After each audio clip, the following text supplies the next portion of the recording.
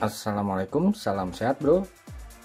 Kali ini saya akan mentes MOSFET IFZ44 Tes kemampuannya saja berdasarkan suhu. Kalian lihat sensornya sudah saya jepit di sini. Saya menggunakan aki sumbernya 12 volt. Dan bebannya bulb, ini pengukur arus. Oke kita coba saja sudah terpasang semua kalian perhatikan suhunya. Saya berdasarkan kenaikan suhu saja batas dari MOSFET tanpa heatsink. Oke saya coba satu dahulu. Saya nyalakan. Arusnya 650 mA kita lihat dahulu apakah suhunya naik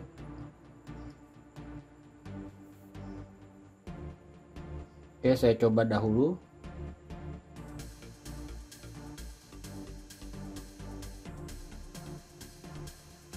Oke tidak masalah artinya. Saya coba lagi. Oke saya diamkan dahulu. Oke setelah setengah jam kenaikan suhunya tidak berarti jadi tidak masalah. Sebelumnya kalian untuk membuat rangkaian ini lengkapnya bisa kalian lihat video di sini. Oke saya lanjutkan. Saya beri tambah beban. Sudah 1,3 ampere saya coba hidup matikan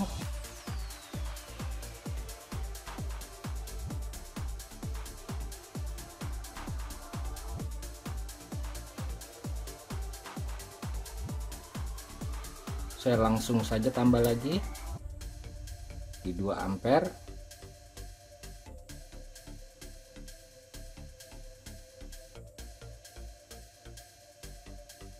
Oke saya rasa saklarnya tidak masalah. Kemudian saya diamkan saja.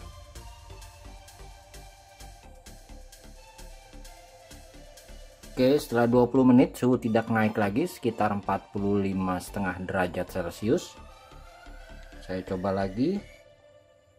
Masih belum masalah. Uh, untuk informasi ini MOSFET yang saya beli harganya sekitar 3300 artinya yakin bukan ori tapi di kelas menengah karena yang termurah harganya 2200 oke saya tambah beban saja. Kita lihat arusnya sekitar 3 saya buat tambah lagi ini kebetulan mati satu. Saya buat di 4 ampere dahulu saya coba dahulu. Mantap. 4 ampere ini karena ini aki 12 volt artinya dayanya 48 watt. Oke masih sanggup bekerja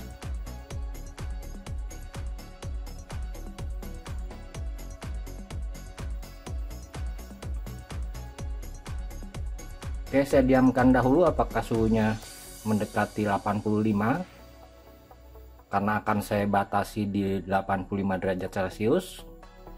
Saya diamkan lagi. Oke setelah saya diamkan selama hampir satu jam ini sudah tidak naik lagi. Sebetulnya ini lama sekali naiknya kemungkinan ini mulai drop. Jadi amannya untuk satu MOSFET IRFZ44 ini bila dayanya sekitar 40 sampai 50 watt masih aman sekali. Yang digunakan sebagai pengganti relay kalian lihat masih bisa digunakan secara bagus.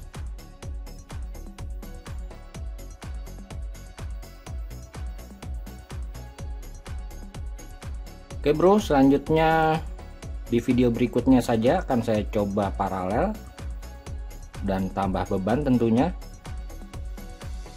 Oke, terima kasih telah berkunjung. Salam sehat. Wassalamualaikum warahmatullahi wabarakatuh.